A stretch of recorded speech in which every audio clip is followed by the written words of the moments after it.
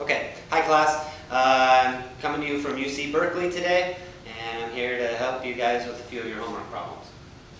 This one here is page 104, number 4, and the goal of this problem is to find the values of C in the matrix so that the matrix is singular.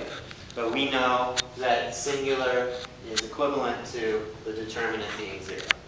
So the goal of the problem is to calculate the determinant of A and uh, set it equal to zero, and then find out what values of C would make that true. So while I'm doing this, uh, what I want to do first is I want to create a column of zeros or a row of zeros, but I'm going to make a column of zeros here. Uh, this guy's going to be zero, and this guy's going to be zero, and that'll make my computation of determinant um, much more simple. Okay, so to do that, I'm going to have to do two row operations. I'm going to do negative row 1 plus row 2, and negative row 1 plus row 3. And the result is that I get a 1, a 1, a 1. These are zeros. Okay, negative 1 plus 9 is 8. Negative 1 plus c is c minus 1. Negative 1 plus c is c minus 1. Negative 1 plus 3 is 2. So now I've got a column of zeros so when I compute my determinant, I'm going to expand along this first column because it has the most zeros. Okay, so it's 1, that's this one, times the determinant of what I have left over when I remove that row and that column.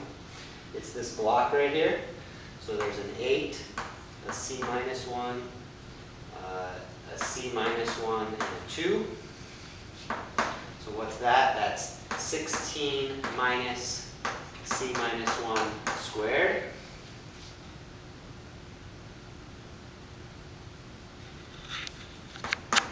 So uh, simplifying this, it's 16 minus c squared minus 2c plus 1,